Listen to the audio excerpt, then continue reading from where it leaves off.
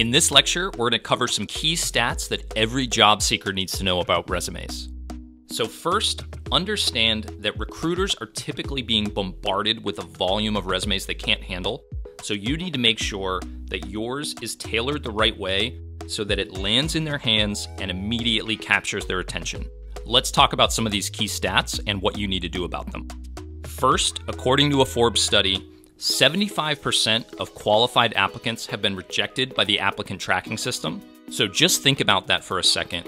All of these people that are a good fit for the job are getting tossed out because they don't meet the ATS standards. We'll get into the specifics of the ATS later, but for now, just understand how powerful this is that so many people are filtered out, and you're gonna wanna make sure that you don't fall into that trap. This next one is huge as well. According to Career Builder, you have six seconds to make yourself stand out to a potential reader before they start judging your resume. I really want you to keep in mind how quickly you have to make an impact because if you don't, the opportunity is gone. So here's what we recommend.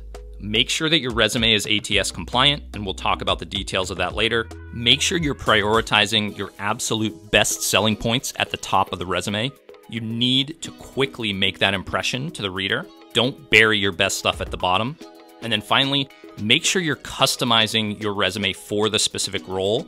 Again, they're going to be very quick to judge you. You need to take every advantage you can get to make them think you are an excellent fit for this opportunity.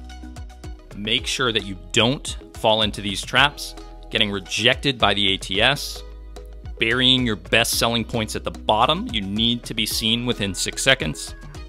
And don't use a generic template for every role you apply to. You're going to need to tailor your resume every time you're applying for a new job. Keep these stats in mind. They should be helping you frame how you think about the application and resume writing process from the employer's perspective. If you can do that, follow these tips, avoid the pitfalls, it will really help you maximize your chances of getting in front of these employers for an interview.